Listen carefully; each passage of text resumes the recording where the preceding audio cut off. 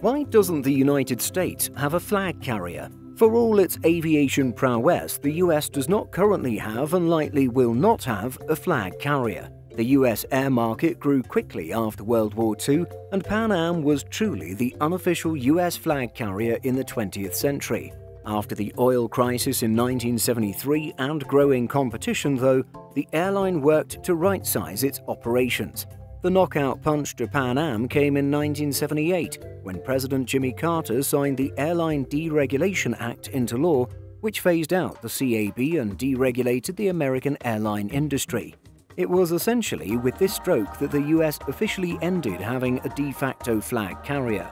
In 1991, Pan Am ceased operations, and the US has not had a flag carrier since. There are many flag carriers around the world and are usually the airlines that fly the largest portfolio of international routes out of a country,